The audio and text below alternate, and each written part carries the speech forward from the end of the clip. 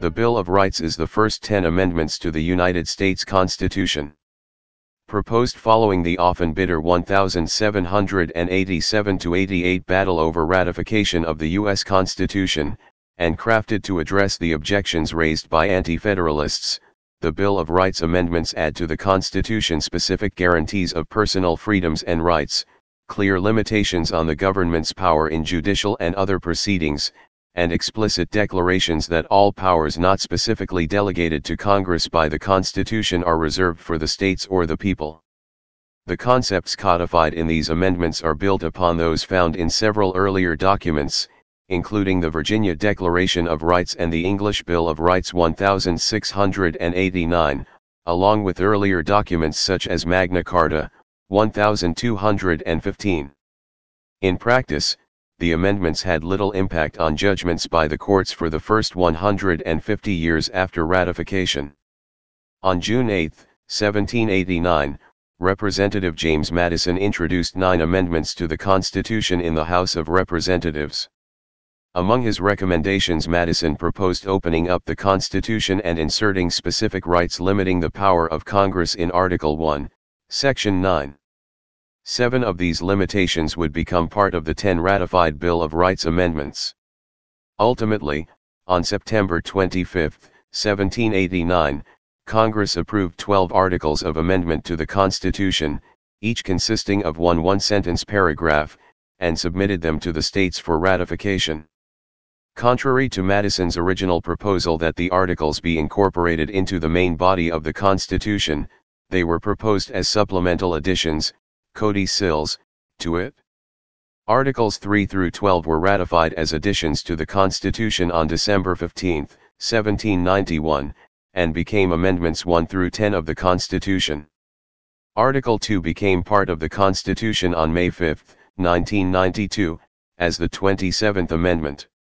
Article 1 is technically still pending before the states.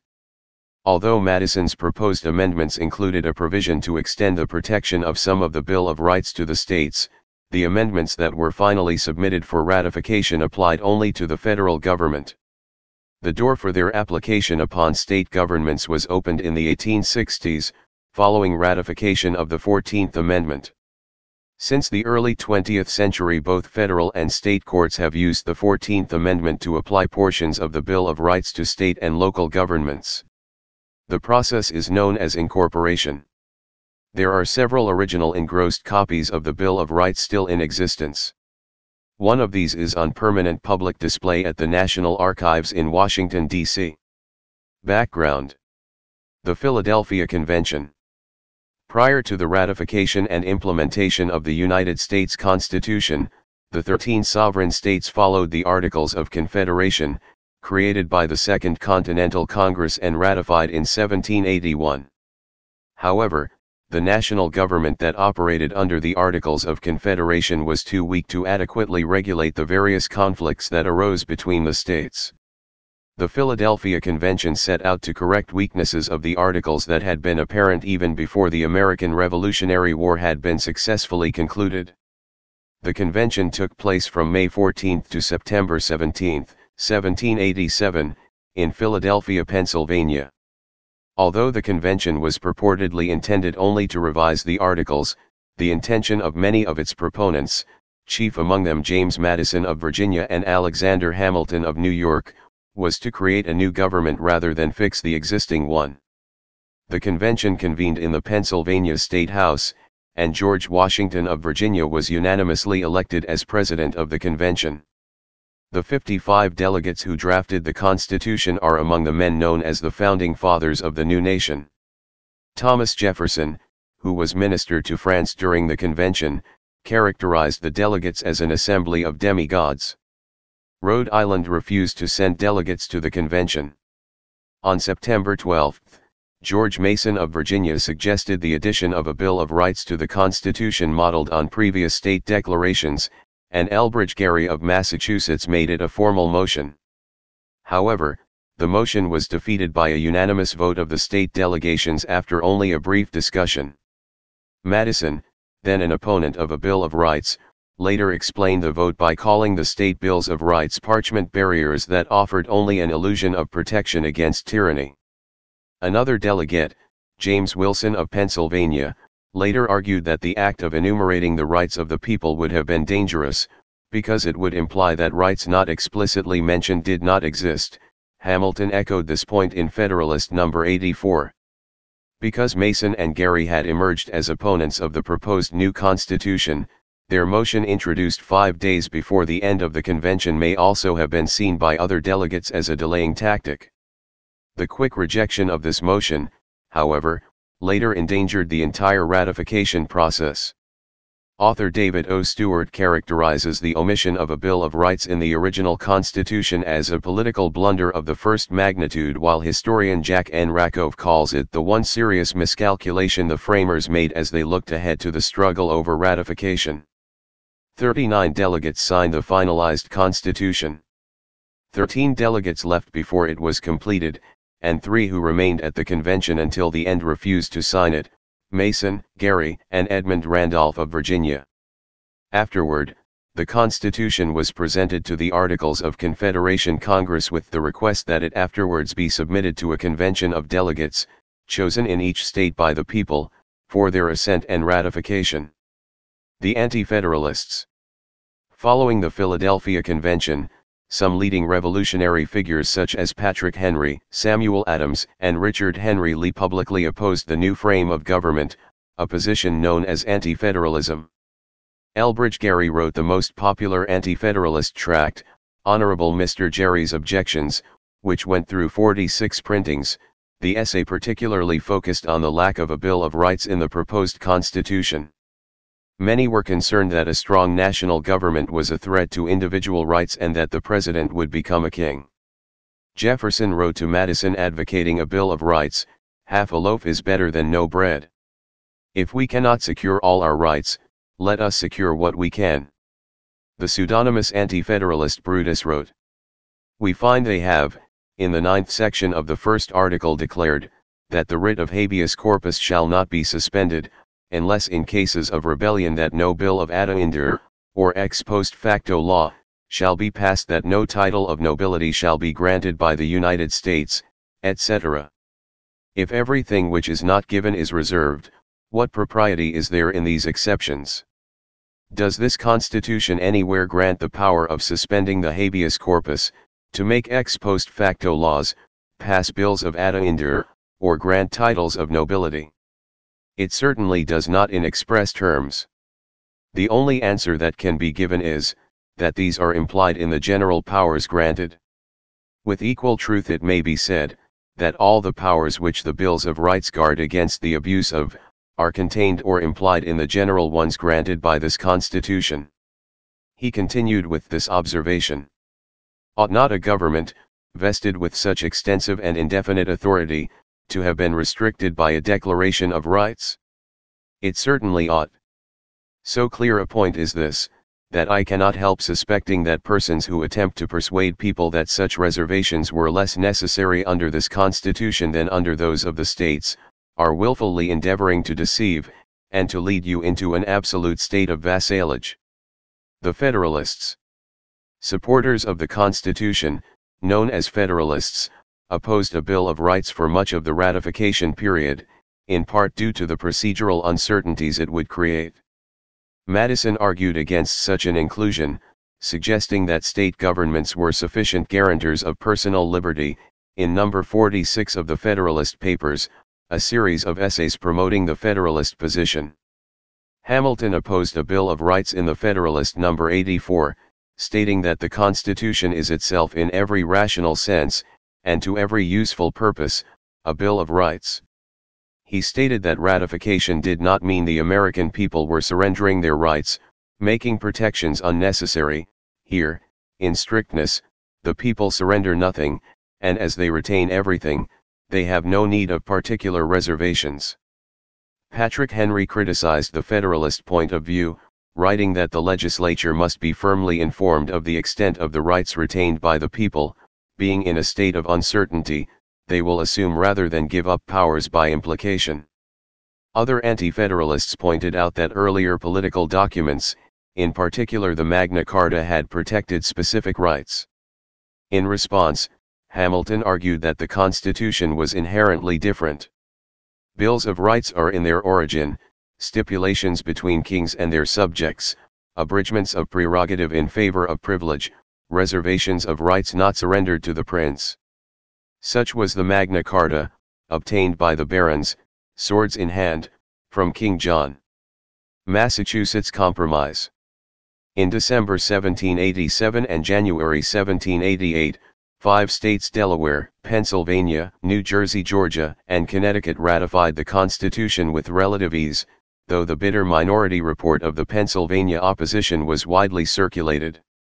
In contrast to its predecessors, the Massachusetts Convention was angry and contentious, at one point erupting into a fistfight between Federalist delegate Francis Dana and Anti-Federalist Elbridge Gerry when the latter was not allowed to speak. The impasse was resolved only when revolutionary heroes and leading anti-federalists Samuel Adams and John Hancock agreed to ratification on the condition that the convention also propose amendments.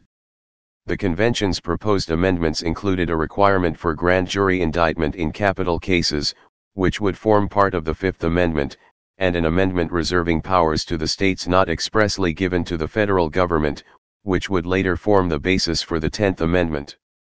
Following Massachusetts' lead, the Federalist minorities in both Virginia and New York were able to obtain ratification in convention by linking ratification to recommended amendments.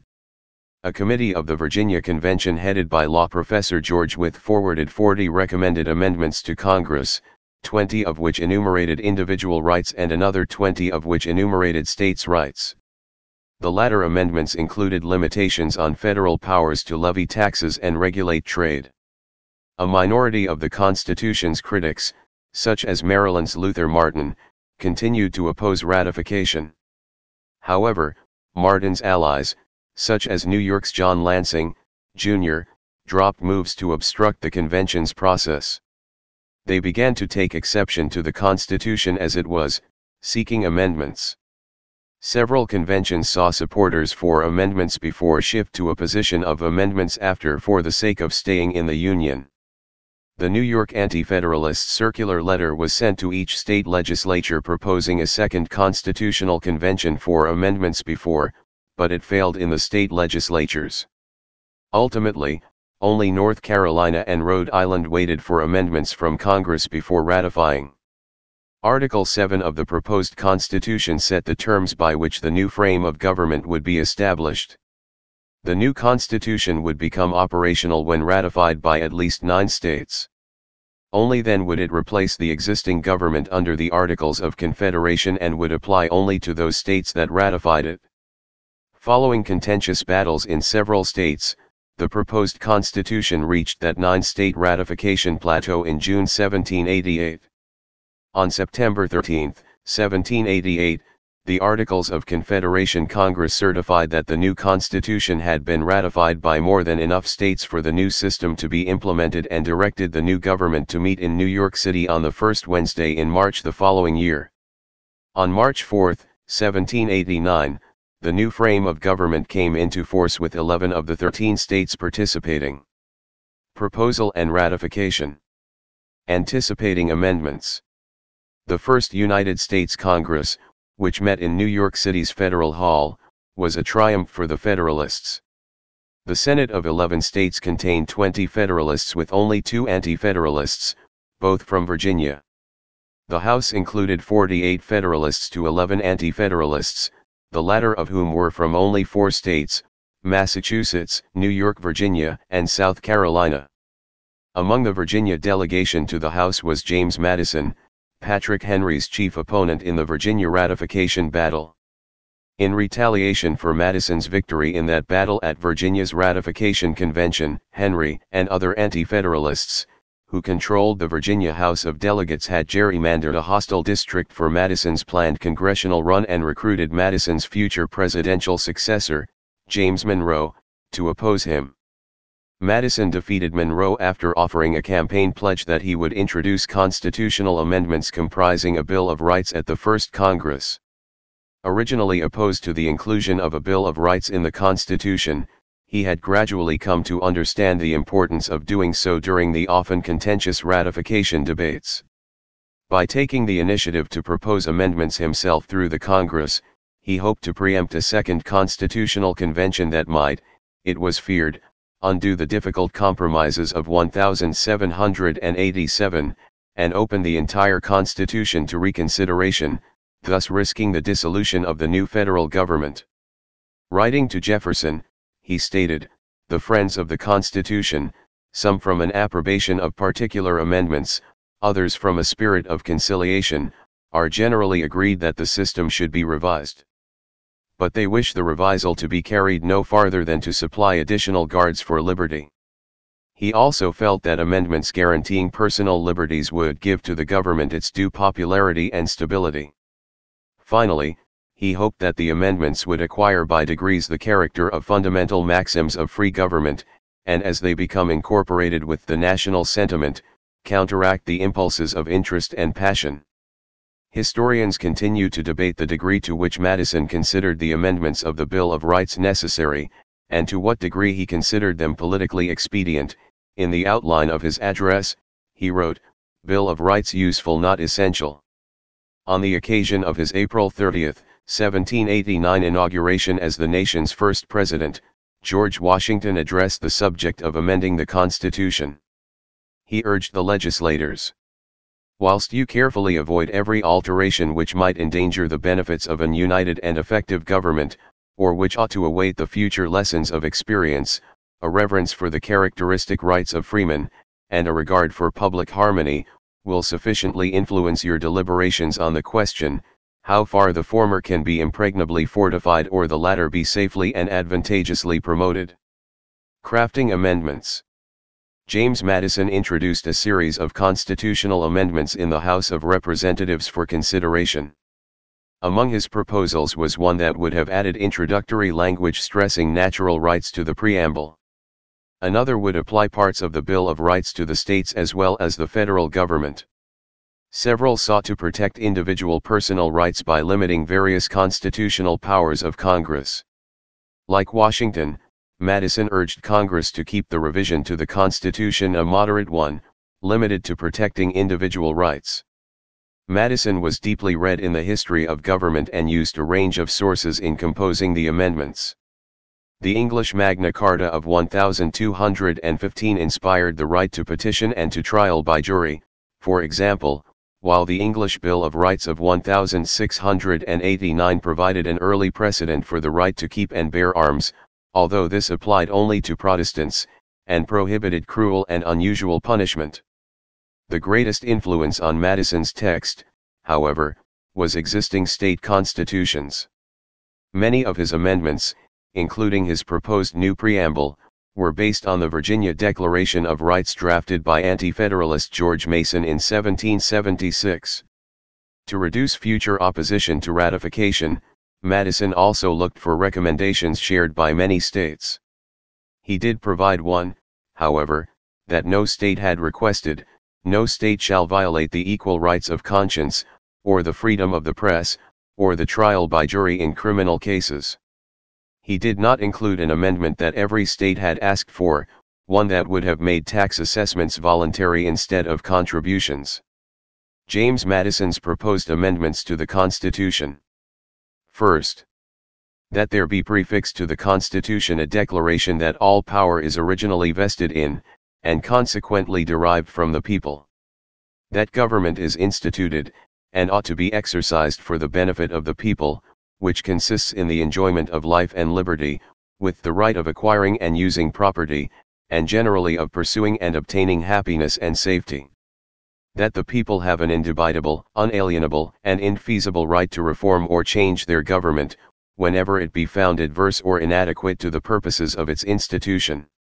Secondly, that in Article 1, Section 2, Clause 3, these words be struck out, to wit, the number of representatives shall not exceed one for every 30,000, but each state shall have at least one representative, and until such enumeration shall be made, and in place thereof be inserted these words, to wit, after the first actual enumeration, there shall be one representative for every 30,000, until the number amounts to, after which the proportion shall be so regulated by Congress.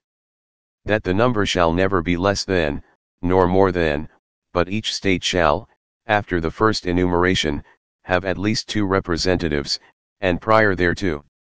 Thirdly, that in Article 2nd, Section 6, Clause 1, there be added to the end of the first sentence, these words, to wit, but no law varying the compensation last ascertained shall operate before the next ensuing election of representatives. Fourthly, that in Article 2nd, Section 9, between clauses 3 and 4, be inserted these clauses, to wit, the civil rights of none shall be abridged on account of religious belief or worship, nor shall any national religion be established, nor shall the full and equal rights of conscience by in any manner, or on any pretext infringed. The people shall not be deprived or abridged of their right to speak, to write, or to publish their sentiments, and the freedom of the press, as one of the great bulwarks of liberty, shall be inviolable. The people shall not be restrained from peaceably assembling and consulting for their common good, nor from applying to the legislature by petitions, or remonstrances for redress of their grievances. The right of the people to keep and bear arms shall not be infringed, a well-armed, and well-regulated militia being the best security of a free country, but no person religiously scrupulous of bearing arms, shall be compelled to render military service in person. No soldier shall in time of peace be quartered in any house without the consent of the owner, nor at any time, but in a manner warranted by law. No person shall be subject, except in cases of impeachment, to more than one punishment, or one trial for the same office, nor shall be compelled to be a witness against himself, nor be deprived of life, liberty, or property without due process of law, nor be obliged to relinquish his property, where it may be necessary for public use, without a just compensation. Excessive bail shall not be required, nor excessive fines imposed, nor cruel and unusual punishments inflicted the rights of the people to be secured in their persons, their houses, their papers, and their other property from all unreasonable searches and seizures, shall not be violated by warrants issued without probable cause, supported by oath or affirmation, or not particularly describing the places to be searched, or the persons or things to be seized. In all criminal prosecutions, the accused shall enjoy the right to a speedy and public trial, to be informed of the cause and nature of the accusation, to be confronted with his accusers, and the witnesses against him, to have a compulsory process for obtaining witnesses in his favor, and to have the assistance of counsel for his defense.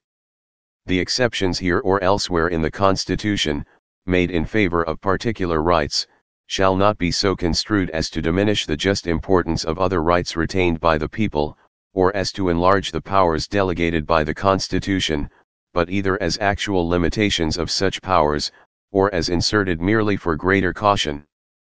Fifthly, that in Article 2, Section 10, between clauses 1 and 2, be inserted this clause, to wit, no state shall violate the equal rights of conscience, or the freedom of the press, or the trial by jury in criminal cases. Sixthly, that Article 3, Section 2, be annexed to the end of Clause 2, these words to wit, but no appeal to such court shall be allowed where the value in controversy shall not amount to dollars, nor shall any fact treeable by jury, according to the course of common law, be otherwise re-examinable than may consist with the principles of common law. Seventhly, that in Article 3, Section 2, the third clause be struck out, and in its place be inserted the classes following, to wit, the trial of all crimes, except in cases of impeachments, and cases arising in the land or naval forces, or the militia when on actual service in time of war or public danger, shall be by an impartial jury of freeholders of the vicinage, with the requisite of unanimity for conviction, of the right of challenge, and other accustomed requisites, and in all crimes punishable with loss of life or member, presentment or indictment by a grand jury shall be an essential preliminary, provided that in Cases of crimes committed within any county which may be in possession of an enemy, or in which a general insurrection may prevail, the trial may by law be authorized in some other county of the same state, as near as may be to the seat of the offense. In cases of crimes committed not within any county, the trial may by law be in such county as the laws shall have prescribed. In suits at common law, between man and man, the trial by jury, as one of the best securities to the rights of the people, ought to remain inviolate. Eighthly, that immediately after Article 6, be inserted, as Article 7, the clauses following, to wit. The powers delegated by this Constitution, are appropriated to the departments to which they are respectively distributed, so that the legislative department shall never exercise the powers vested in the executive or judicial, nor the executive exercise the powers vested in the legislative or judicial, nor the judicial exercise the powers vested in the legislative or executive departments.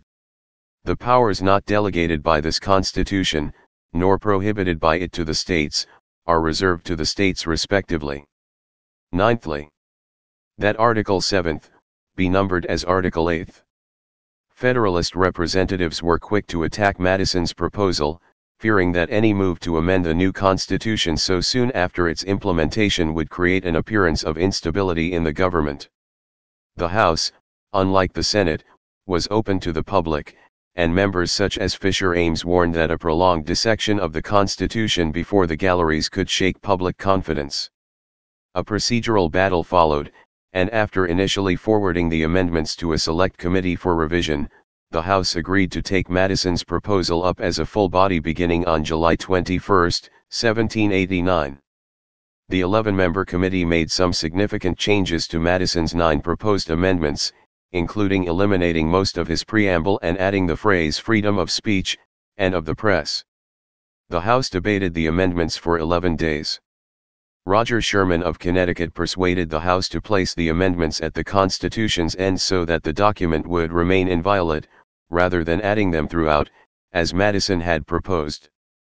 The amendments, revised and condensed from 20 to 17, were approved and forwarded to the Senate on August 24, 1789.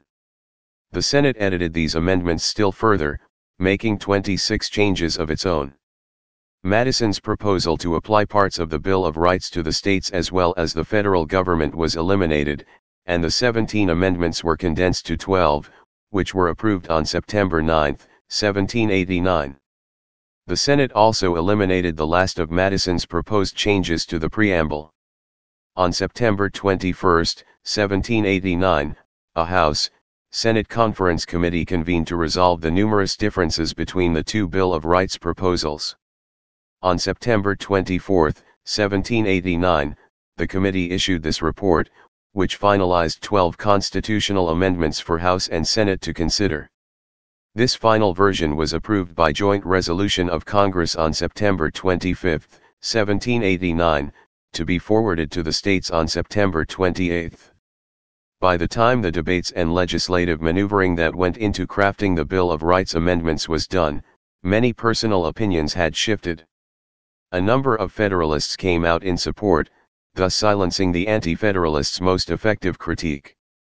Many Anti-Federalists, in contrast, were now opposed, realizing that congressional approval of these amendments would greatly lessen the chances of a second constitutional convention. Anti-Federalists such as Richard Henry Lee also argued that the bill left the most objectionable portions of the Constitution, such as the federal judiciary and direct taxation, intact. Madison remained active in the progress of the amendments throughout the legislative process. Historian Gordon S. Wood writes that there is no question that it was Madison's personal prestige and his dogged persistence that saw the amendments through the Congress.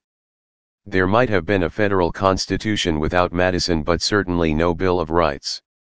Ratification process the 12 articles of amendment approved by Congress were officially submitted to the legislatures of the several states for consideration on September 28, 1789. The following states ratified some or all of the amendments. New Jersey, Articles 1 and 3 through 12 on November 20, 1789, and Article 2 on May 7, 1992. Maryland, Articles 1 through 12 on December 19, 1789. North Carolina, Articles 1 through 12 on December 22, 1789. South Carolina, Articles 1 through 12 on January 19, 1790. New Hampshire, Articles 1 and 3 through 12 on January 25, 1790, and Article 2 on March 7, 1985. Delaware, Articles 2 through 12 on January 28, 1790. New York, Articles 1 and 3 through 12 on February 24, 1790. Pennsylvania, Articles 3 through 12 on March 10, 1790, and Article 1 on September 21, 1791. Rhode Island, Articles 1 and 3 through 12 on June 7, 1790, and Article 2 on June 10, 1993.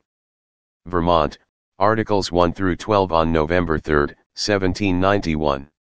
Virginia, Article 1 on November 3, 1791, and Articles 2 through 12 on December 15, 1791.